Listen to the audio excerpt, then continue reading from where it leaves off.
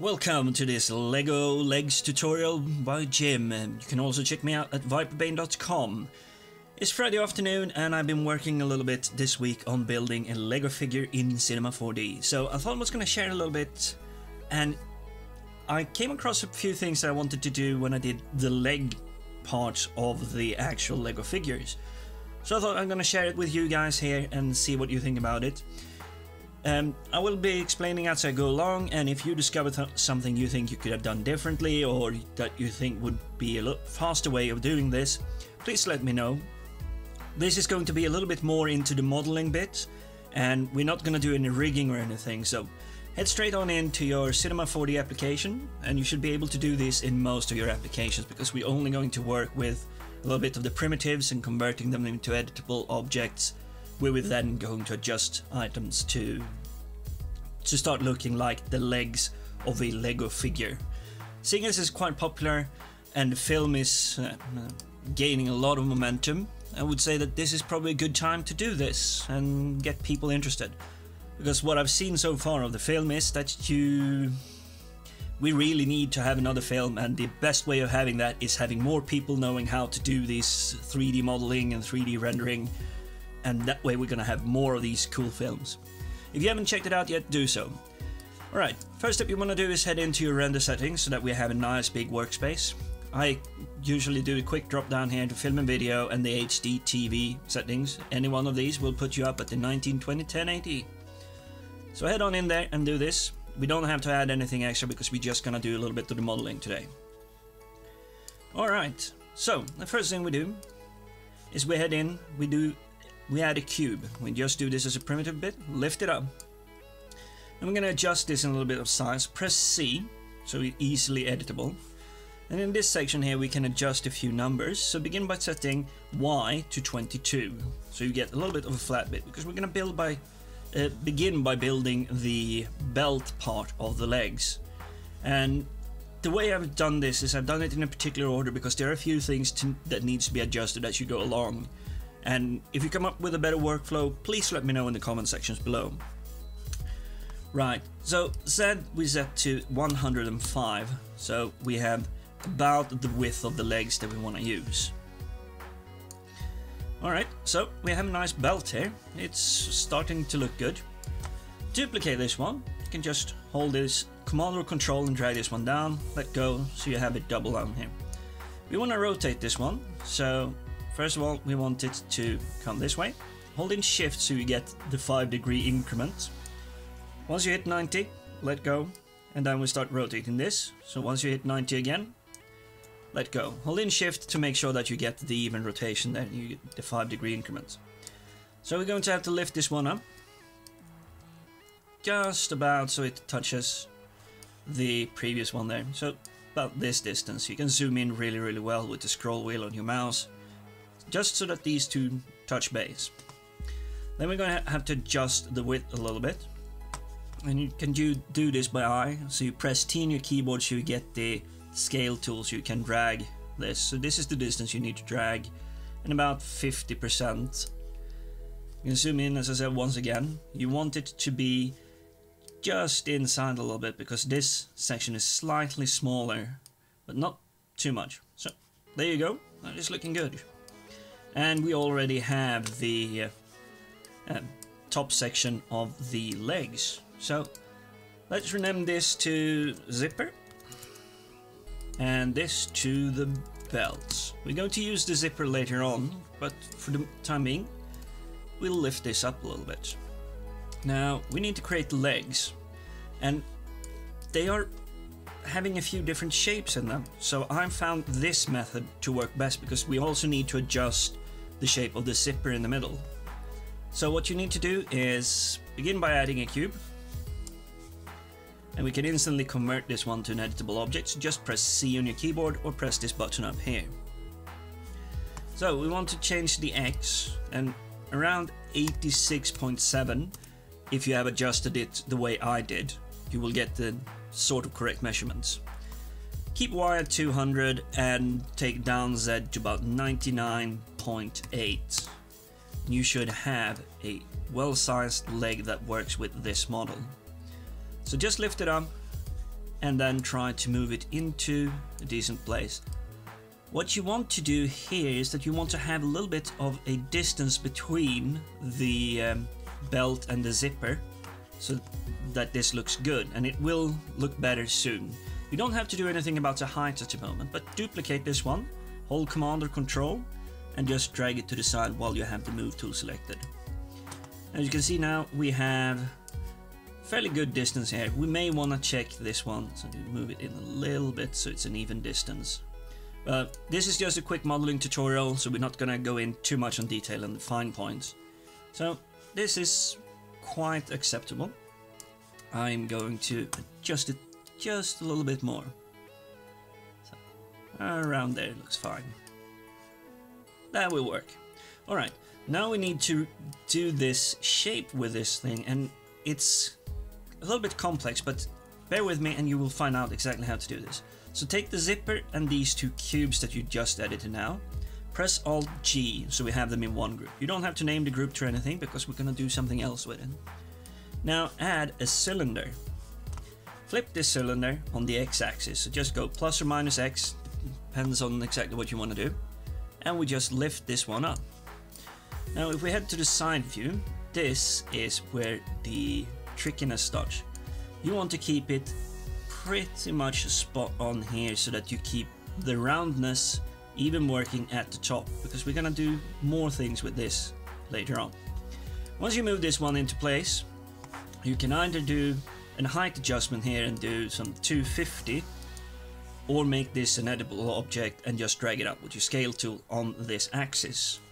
But once you have this, this sounds good, I'll press C just so I have it editable. And then I'm actually going to duplicate this one and we're going to hide it. So click these stoplights here, make sure that you shift them to red. You can hold in Alt and double click and then you make it disappear. But we're going to continue working with this one because this and null group we just created is the important bit. Go in here on this array objects and select bool because we're gonna make one disappear and the other stay in place. So cylinder and null, lift them in to bool so that they are under here. You're gonna see we don't really have the shape we want exactly at the time being. So we're gonna do something about this. Head into bool and change this from A subtract B to A intersect B. And there you see we have our wheels. That is looking fantastic, isn't it? Alright, once you've done that, click bool and make sure that bool is selected, press C on your keyboard to make that object editable. Right click on the menu and select children on the bool, now you have all the objects selected under this. Then connect objects and delete. Now you create that object there. And the reason we save the cylinder is because we're going to use it to perfect the shape of these uh, legs on the Lego figures. So, we have these two items sorted. Now we're going to have to create legs, and this is where the fun bit starts. So, with the legs selected, you can rename it here. So double click and type legs, it'll be easier. It's technically the hip part this but it'll be alright. Alright, so go in underneath. You can either do this by changing the perspective, but I found it quite easy to sit in the 3D view to do this. So we want to do the live selection mode and the faces selected here. So click on that one and then on the faces. And we're gonna select a few of these and we're going to extend them. So the legs on a Lego figure are, they're bulging out a little bit on the top and then going straight down past the knee to the shoes. So we want to select a lower side on this angle. So choose from here somewhere and just drag. And on this side, hold shift, select the same, and then just select as many. Now we're gonna make sure that this is correctly selected and everything. So if you go up to this side, you'll see that it really didn't go on this side. And I would say on this particular setting, it's not too necessary. But if you are really, really keen on making sure that it looks good, zoom in and take these two. Just hold in shift and click. Right, so now we have our selection. What are we gonna do? We are gonna hold in command or control and just drag down. Look at that, we're already looking at something that looks close to a Lego leg set on the Lego figurine. But we're not really there, so we need to do something about this rounded bottom.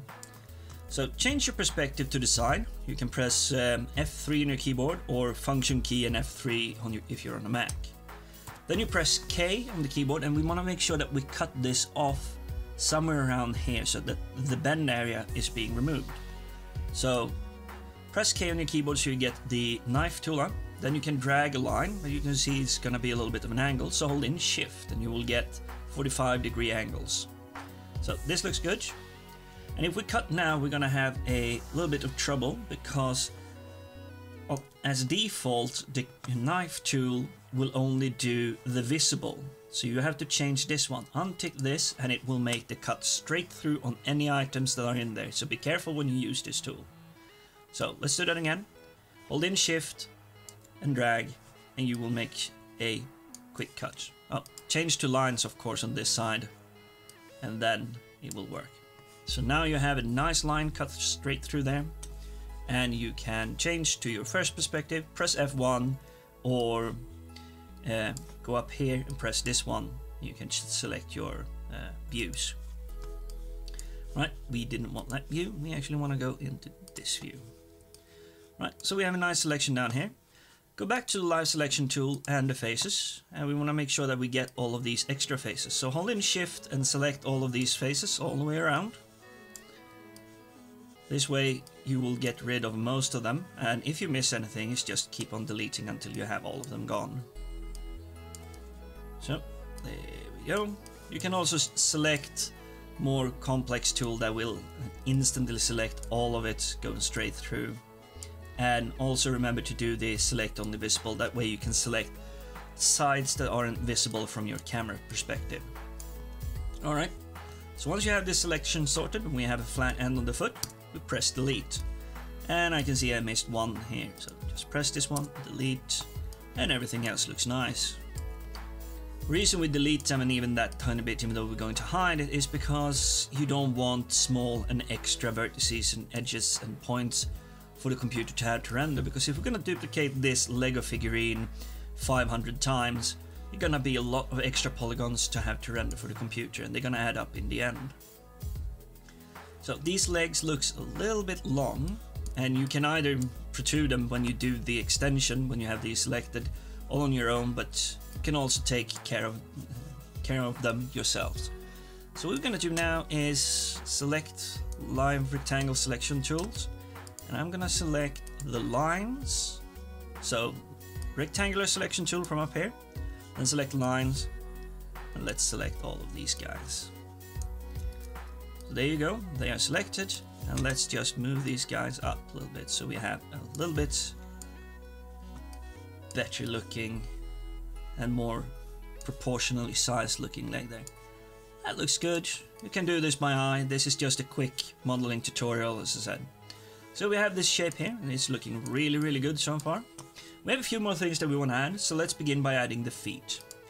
The belt object that we created, and we kept it apart from the rest, duplicate that one, just drag it down, and there we go, we already have the feet more or less sorted. The new object is feet foot. So we're going to change this, and all you need to do is on the x-axis, change this to 90, and you have it really good width and then just move it until you think it looks good on the feet. There you go. And if you watch the real figurine, the inside of the feet seems to be a little bit closer together. I don't remember exactly how far they are now because I'm doing this all off memory. Duplicate this one to the other foot. So now we have the right and the left foot and just drag and drop. There you go looking nice and fine here. Right, we duplicated an item before, so we want to make sure that everything is correct here. So the item we hid, the cylinder 1, is now invisible. So if you hold in Alt and double click, oh, well this time is single click, so my bad. Now we're going to do something with this one. We're actually going to use the bool tool again. So go to the side view here. You can either swap um, perspective view or just uh, move your camera around a little bit. So let's lift this one up a little bit and I would say about halfway, so it goes in halfway in on this a little bit. And that looks quite nice. So we want to add between the belt and this cylinder, another bool. So I add this bool here. So the belt and cylinder, will lift them in. And as you can see, we are removing a little bit here.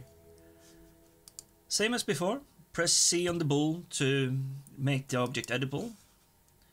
Select children, then connect objects and delete and you have just one item. So let's rename this to belt again.